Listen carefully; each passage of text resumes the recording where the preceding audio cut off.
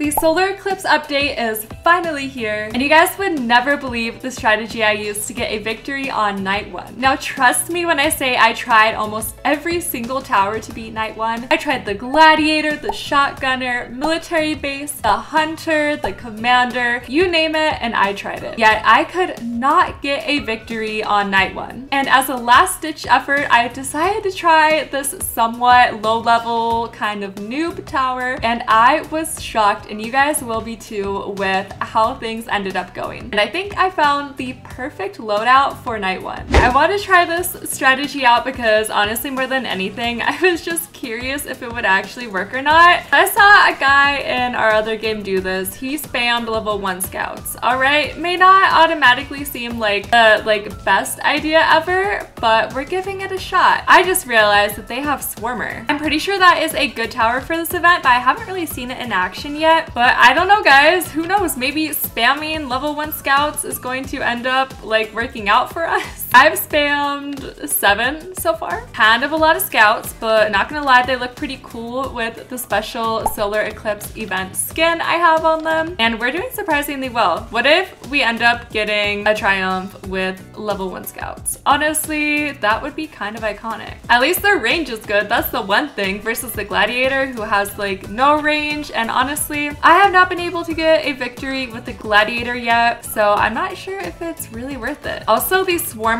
definitely seems to be pretty good. From what I've seen at least, I think I would actually recommend the Swarmer. And don't mind me over here just placing my level 1 scouts. Honestly, kind of did it for the meme, but kind of surprised at how well we're doing. We do have a military base as well. Okay, we won't die, but this is the first time we're actually losing any health, which honestly, oh, are we even going to? Okay, we lost 4 health. I'm shocked that we're doing this well. Look at us go with our level 1 scouts. Don't judge it till you try it, okay? I do think part of our success though definitely has to do with the Swarmer. I think that that is actually a really good tower to have. I have not used the Swarmer so I can't personally say if it's really that good, but I mean from what I can see, it's level 4. It seems to be doing pretty dang good. Oh gosh, we're on the final wave guys. I have so many scouts right now. Like I have lost count of how many scouts I have. I think my scouts honestly can pull through. I think they can. I should probably start placing some towards the back though, just to have. Oh my god, if my scouts make me do better than the gladiator, I'm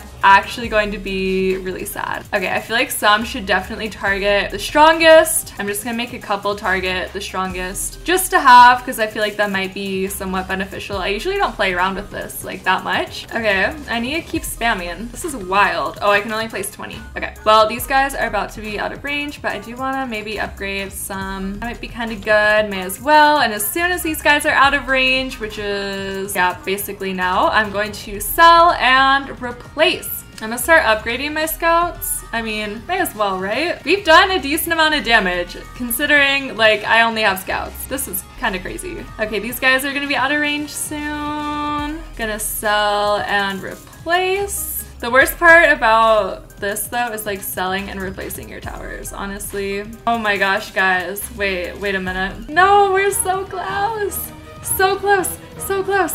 No.